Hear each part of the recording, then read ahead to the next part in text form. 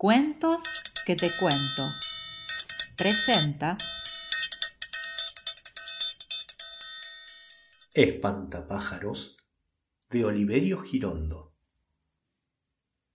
No se me importa un pito que las mujeres tengan los senos como magnolias o como pasas de higo, un cutis de durazno o de papel de lija.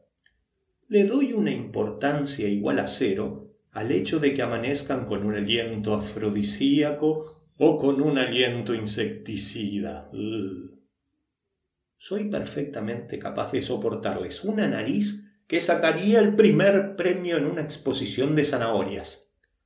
Pero eso sí, y en esto soy irreductible, no les perdono bajo ningún pretexto que no sepan volar. Si no saben volar, pierden el tiempo las que pretenden seducirme. Esta fue y no otra la razón de que me enamorase tan locamente de María Luisa.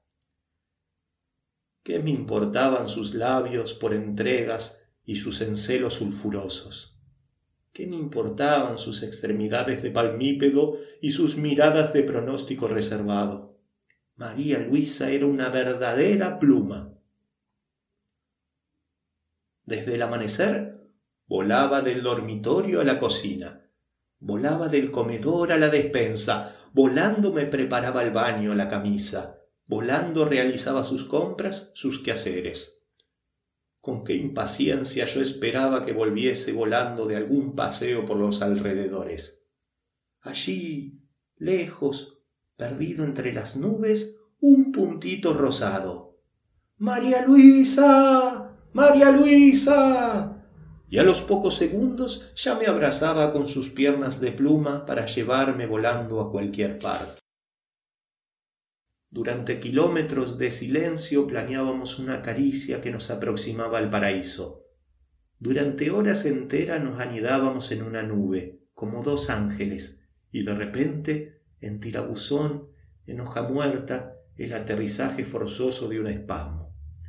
Qué delicia la de tener una mujer tan ligera aunque nos haga ver de vez en cuando las estrellas.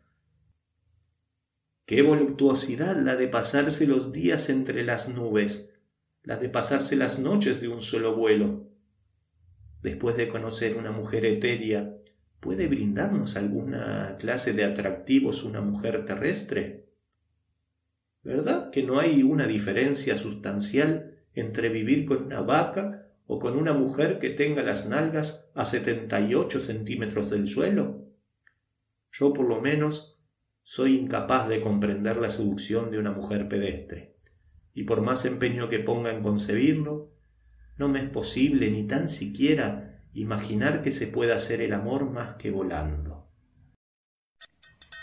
Y colorín colorado, este cuento que te cuento ha terminado.